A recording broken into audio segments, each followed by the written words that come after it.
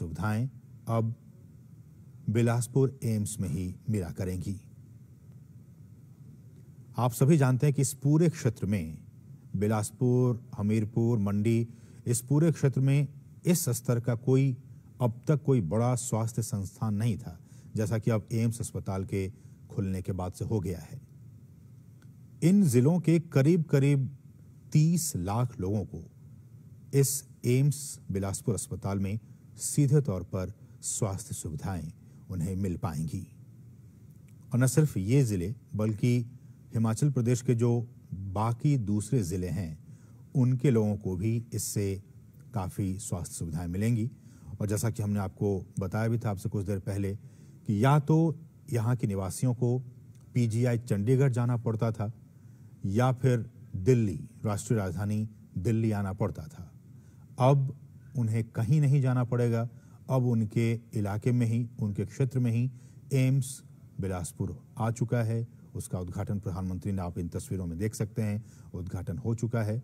अब उन लोगों को स्वास्थ्य सुविधाएँ पाने के लिए दूर की यात्रा नहीं करनी पड़ेगी। उनके घर के पास ही एम्स बिलासपुर संस्थान का उद्घाटन हो चुका है। प्रधानमंत्री इस अस्पताल के अंदर और तमाम चीज़ों का मुआयना करते हुए साथ में आप देख सकते हैं एम्स के तमाम जो वरिष्ठ अधिकारी साथ साथ बीजेपी के राष्ट्रीय अध्यक्ष जेपी नड्डा, एम्स के जो निदेशक हैं डायरेक्टर, वो साथ में मौजूद और तमाम लोग एम्स बिलासपुर अस्पताल का निरीक्षण करते हुए, मुआयना करते हुए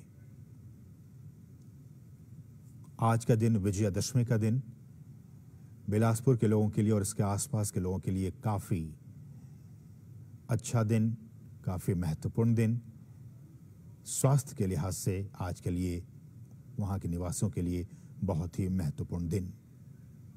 कहा यह भी जा रहा है कि इसी महीने से, अक्टूबर से ही, अब एम्स बिलासपुर में आपात सुविधाएँ भी मिलनी शुरू हो जाएँगी।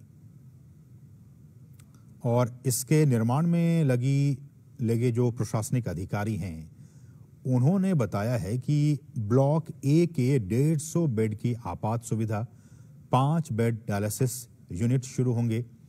साथ ही ब्लॉक बी में ओपीडी और ब्लॉक सी में diagnostic block, lab, USG, X ray, CT scan, MRI और ब्लड बैंक शुरू होने जा रहे हैं।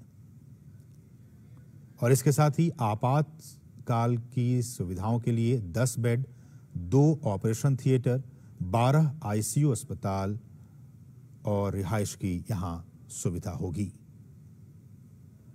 और यह भी कहा जा रहा है कि जो सेकेंड फ़ेज़ है इसके निर्माण का, वो अगले वर्ष जून महीने के लिए प्रस्तावित है।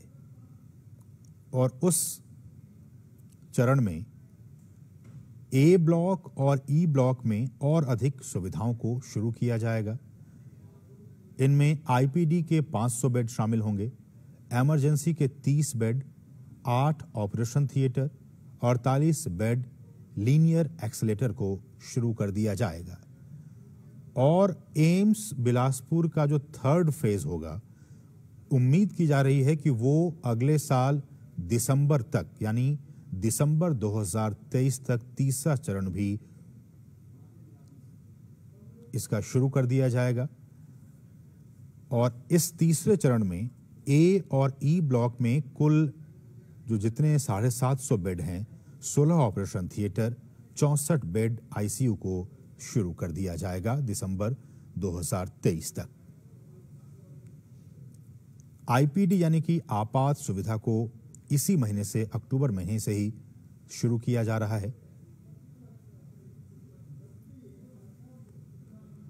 और यहाँ पे 500 नर्सिंग स्टाफ, इक्यानवे चिकित्सक और करीब 500 लोगों का जो बाकी स्टाफ हैं, वो ऑलरेडी एम्स बिलासपुर में उन्हें तैनात कर दिया गया है। और जैसा कि हमने कहा कि इस साल एम्स में, बिलासपुर में 100 सीटों के साथ साथ एमबीबीएस की जो भर्ती की एडमिशन की प्रक्रिया है, वो शुरू हो जाएगी। अभी तक यहाँ 50 सीटों की क्षमता के साथ ये चल रही थी। रिकॉर्ड समय में बनकर तैयार हुआ है और जो आप देख रहे हैं, जिस प्रोजेक्ट को फ़ेज़ वन फ़ेज़ टू और फ़ेज़ थ्री में किस तरह से और भी यहाँ पे डेवलप किया जाएगा इस संस्थान को, इस एम्स बिलासपुर को, उसका थ्री मॉडल प्रधानमंत्री उसका निरीक्षण कर रहे थे।